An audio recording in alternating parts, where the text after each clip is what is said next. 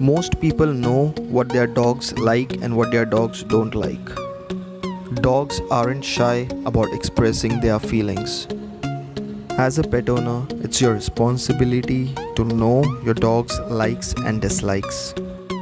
So, these are the few things that your dog may like or may not like. So, welcome to my channel. My name is Remo, and you're watching the Pet Lover Zone. Let's start with the video.